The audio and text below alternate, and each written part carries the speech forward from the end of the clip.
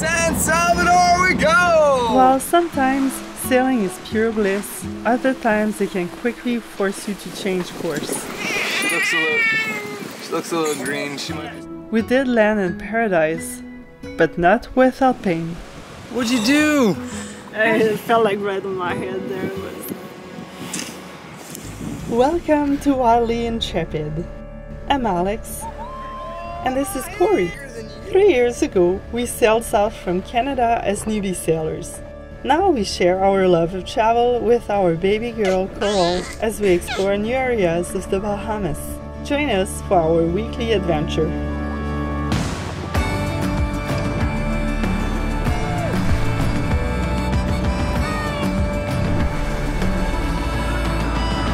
Good morning from Long Island in the Bahamas. It was early, but we had a long day ahead of us.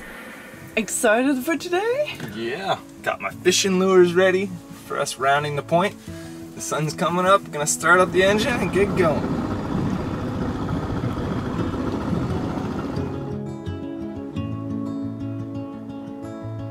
The sun wasn't quite up yet, so it was nice to have yesterday's track to follow out of Calabash Bay. We could see the corals, but not until we were right on top of them.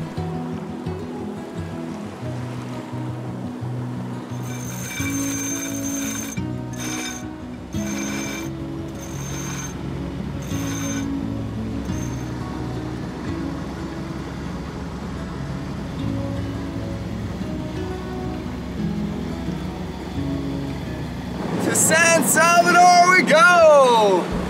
Not going to El Salvador, but San Salvador.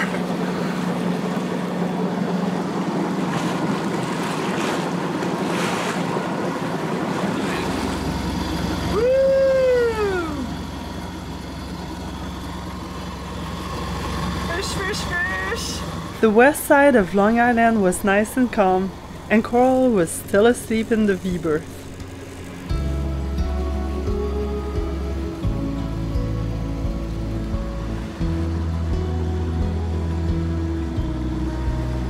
the Columbus Monument, where we walked to the other day. It was nice to get a different angle. Sweetie, how's your morning going? You just woke up and we're moving, eh?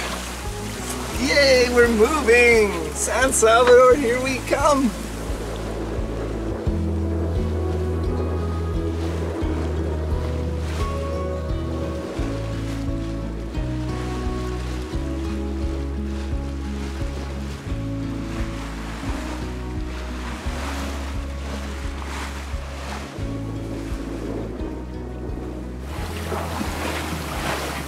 Are we on course?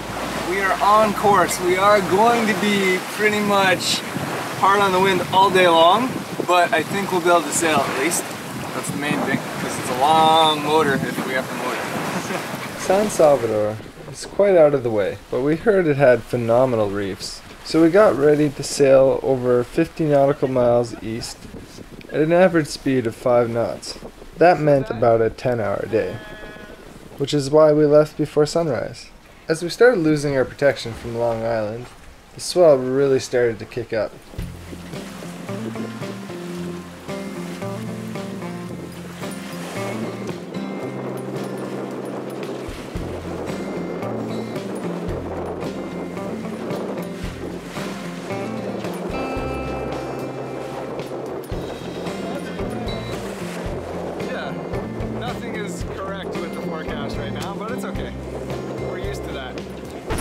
Are you okay, my lovely? You don't enjoy this one bit, do you? She looks a little, she looks a little green. She might be sick again. Poor Miss Coral. She doesn't like the sea state. No, as soon as we're a bit more close hauled and a little bigger swell, she gets seasick. She's doing good now, but it looks like it might be a bit of a rough kind of crossing for her. I mean, it is like four to five foot swell, and we are way beating way more into the wind than what it was predicted for. So I think what we're gonna do, we're gonna stop in Conception for the night just to break it off a little bit. It's not too too far. And then tomorrow the wind is supposed to be a bit lighter, the swell should ease off a little bit, and we'll carry on to San Salvador. And the wind should be more from the south tomorrow, which was supposed to be southeast today. Well, yeah, it's gonna be oh. more more south than southeast tomorrow, Yeah. so it should be slightly better angle. Yeah.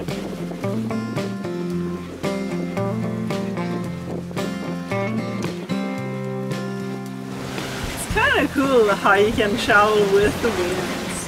It's just of charge. Mind you, you do have to choose carefully where you go because you might not be able to go or you'll have to do this. So it's so special. Like we got a sailboat because we not necessarily because of sailing, because we both didn't know anything about sailing, but because we wanted the mean to travel to explore the world.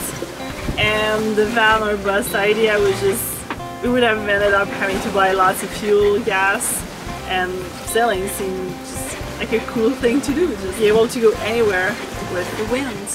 So let's need to be doing this. And I was just looking out to the horizon. Right now, actually, I'm staring at the waves because they're pretty big. And from my angle, I just see them build, and some of them break, like that one. and it's just, uh, it's special. And it's kind of more comfortable. We've adjusted our angle right now so that we go to a different spot called Conception Island. So, and Coral is just asleep, just enjoying her little bit of sucking and life is good. We put together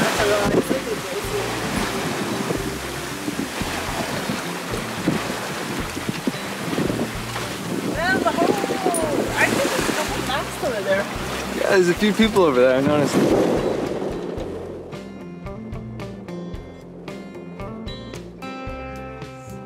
Someone's feeling much better. Eh? Yay, Coral! It's way more calm too. I mean, still decent waves, but way better. Because we really don't want to see you upset. No. Mommy and Daddy feel really bad when you're being sick. Because it's our choice to leave and then we put you through that. It's not fair. Tom- tomorrow will be a better passage to San Salvador, I promise. And if not, promise? if not, we'll hang out in Conception for a little while. Conception Island looks like there's a lot of nice reefs around it, and it's a it's all a park, so there's no fishing. But that probably means that there's some amazing sea life. I think we'll see. Yeah. Corey is frantically pulling in all the lines because we are about to enter the park. Should have pulled in the line a little sooner, but I was hoping to catch something right at the wall of where it goes from almost 300 meters to 20 meters, but it was nothing. Oh well.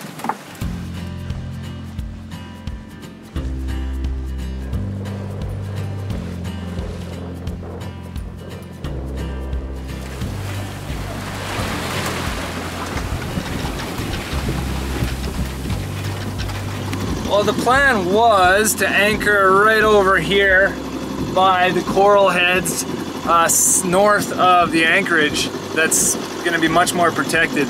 But I'm thinking we're going to not do that because it's a little surgy here still. It seems to be getting a little better the closer we're getting to shore, which is, you know, understandable. Yeah, we're just going to scout out the coral heads on our way in just from the surface here and uh, just dinghy over because it can't be more than a half nautical mile back into the anchorage. Looks like there's a nice head right here actually. Three hours and 45 minutes later, we sailed 20 nautical miles over to the northwest tip of Conception Island into calm water. We drop anchor into paradise with only nine other boats.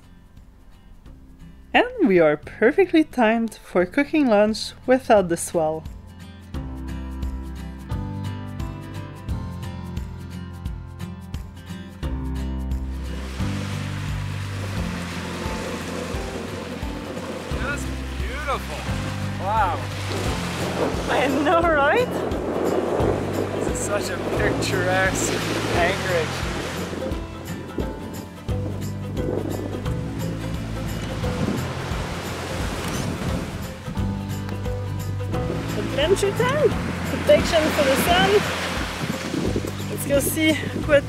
Let's go see Island has to offer.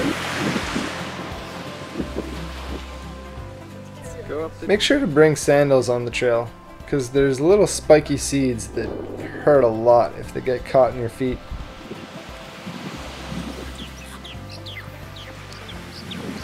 Well, I already see the other side of the island. Didn't take long, eh? I know, right? Just up the little hill.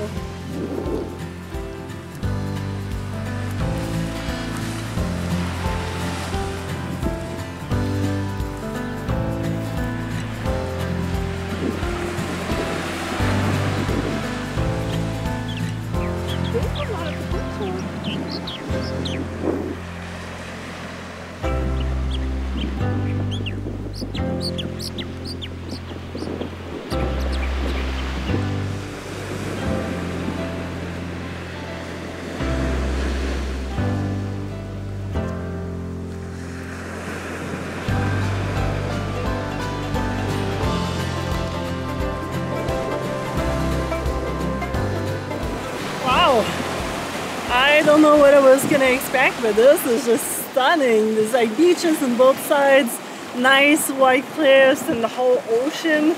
And I can see quite a few coral heads. So yeah, perfect day.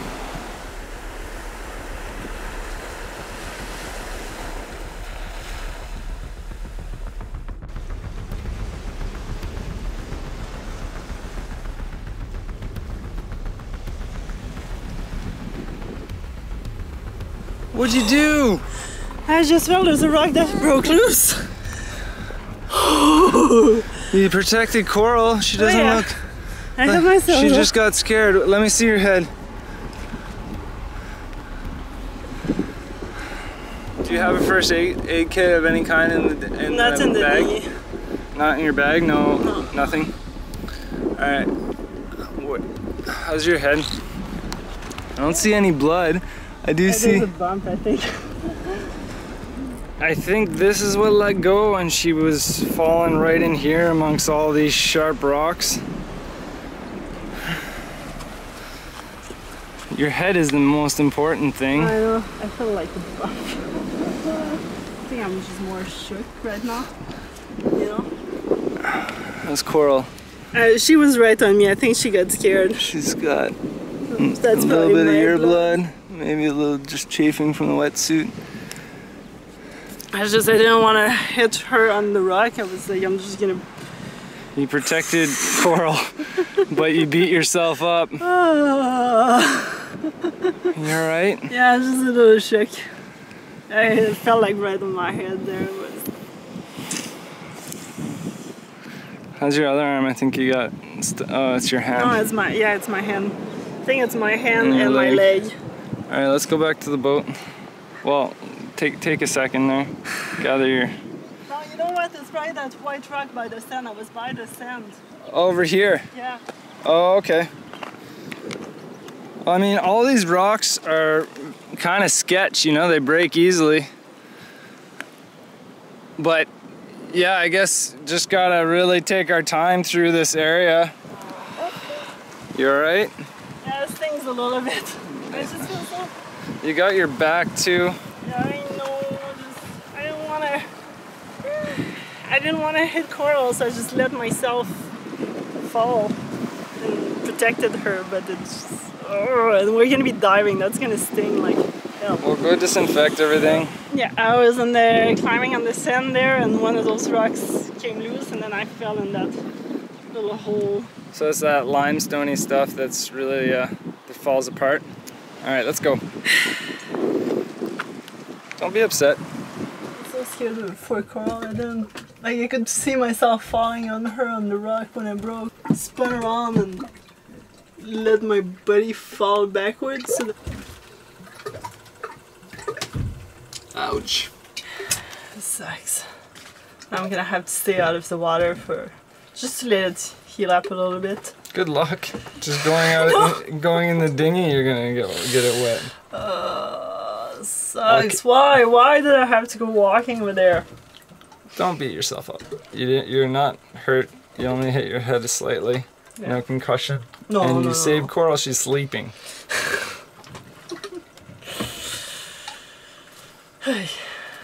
You alright? Yeah.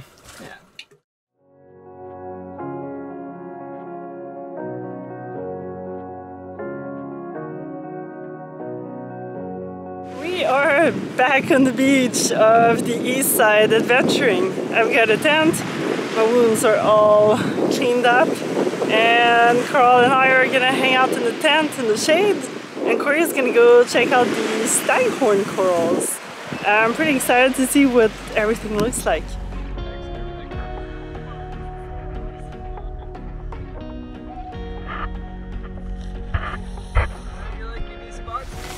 Coral's new play spot. It's wonderful. Shade and breeze. And look at the view. Sexy Gorgeous. sailor up ahead. Anyway, I'm gonna go check out some staghorn coral. Have fun. Thanks.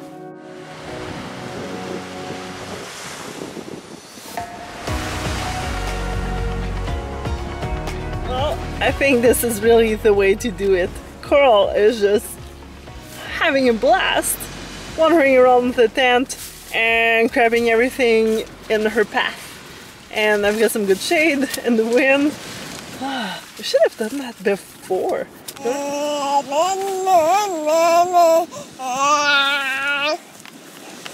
Coral talks to her toys. And she just took her first four steps.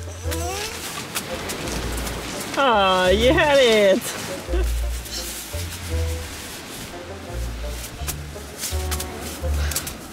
Come on.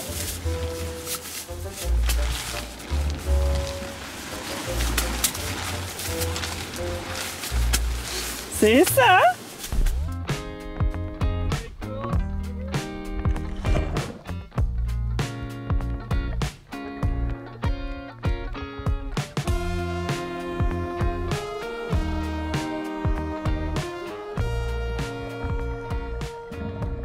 When I'm in the water without a spear, I notice the sea life tends to be a little more relaxed, allowing me to experience these underwater animals a little more close up. A park like this one on Conception Island tends to have more sea life, and in this case, some pretty amazing coral formations.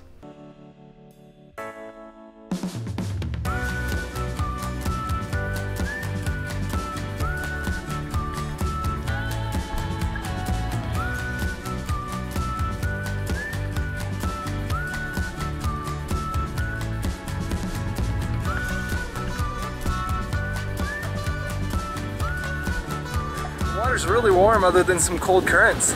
It's kind of nice. But uh, the visibility isn't the greatest, but it's still kind of cool. Lots of like little cave systems and stuff to explore.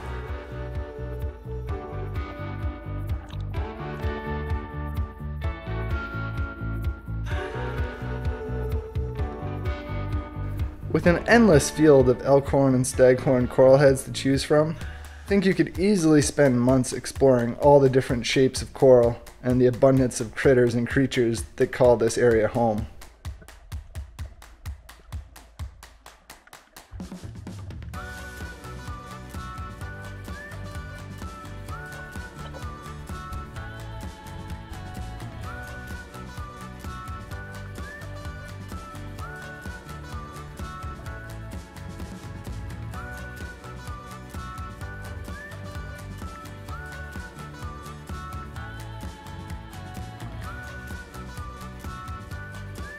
Even this big spiny lobster was casually strutting his stuff out in the open, allowing me to get up right close without fear of becoming lunch.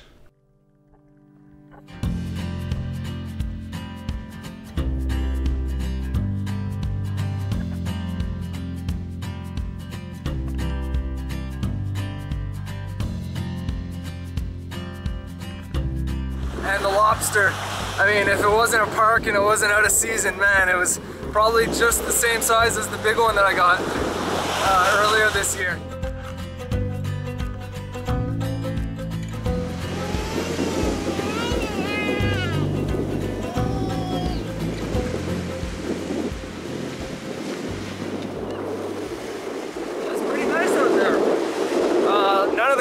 Alive, unfortunately. Well, I guess there's new coral growing on the dead coral, so it's kind of alive. With the underwater world of Conception Island partly explored, and not having any intention of getting in the water after my accident, we decided to walk the beach. My bleeding cuts were way too fresh for me to go in the salt water. So Coral, you decided to crawl without Daddy.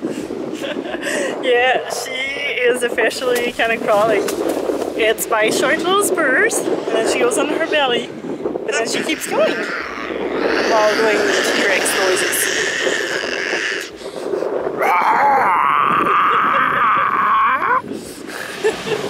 Let's communicate.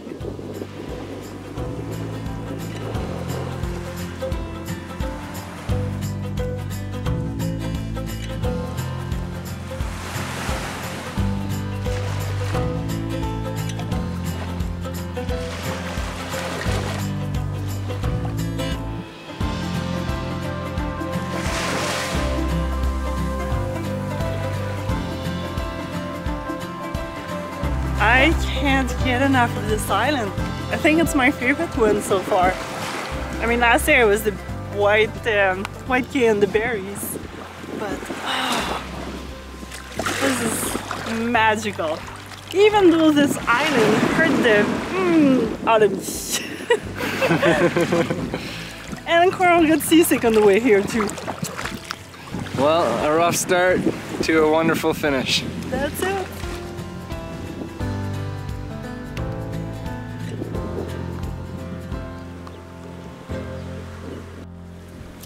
Oh, it's like hot bath. I know, right? Oh, Coral, you need a hot bath, right? She's like, I'm warm enough. Not cold at all, eh? No. Look at that little dancing. Happy dance.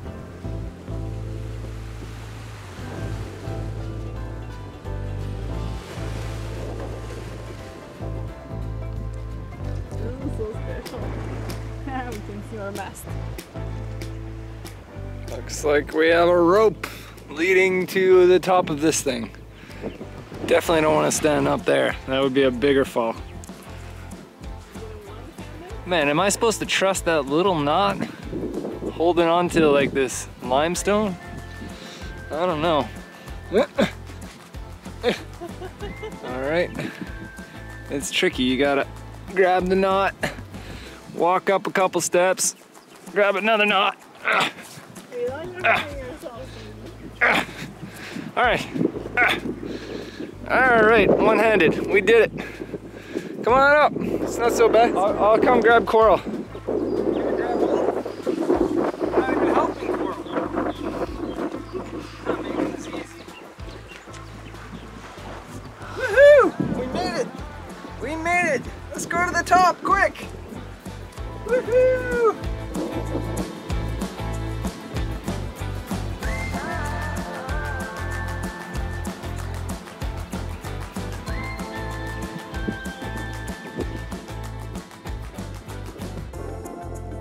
These unexpected stops while cruising can sometimes turn into the most special ones.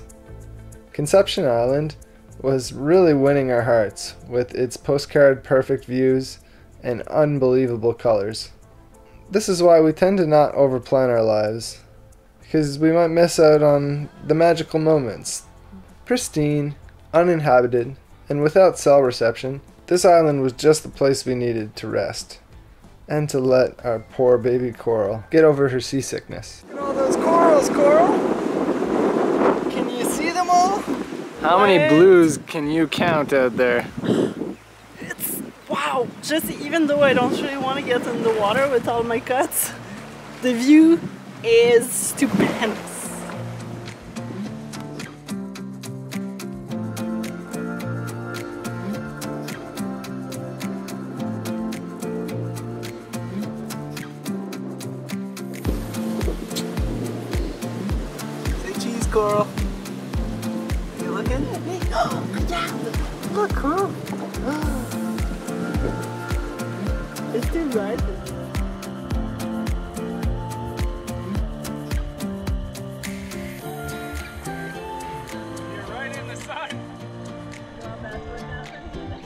Weaving around coral heads was really slow and challenging with the falling tide. But it was a fun game, as if we were weaving through a maze, hoping not to get stuck at a dead end.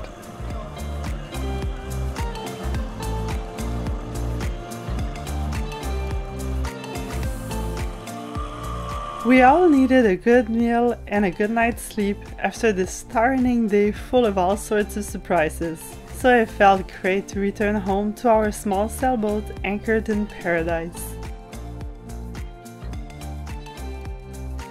There's nothing more on the spoon. You're gonna get mad in a minute. Let me fill up the spoon for you. Oh, there we go. Look at that. Nice big spoonful. Oh, wow. Coral. Yum. See the treat.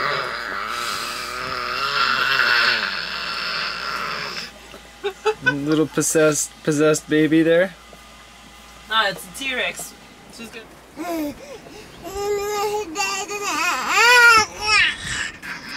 Wow.